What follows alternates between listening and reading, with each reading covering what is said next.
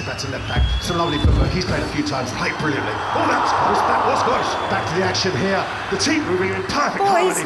Oh, he's had a shot. What a save! What a save! Rebounded back out, moving down the right flank, crossing into the box. What a save. What a save! So that another shot. The keeper's having a stormer of a game. He's played it out to the right, the right, and he's taken lovely footwork down the side there, taking it on left, right. Oh, that was so close! Back in play now. The ball's back out to the right flank. The centre midfield here. He's moving through. He's had a shot. It's a goal!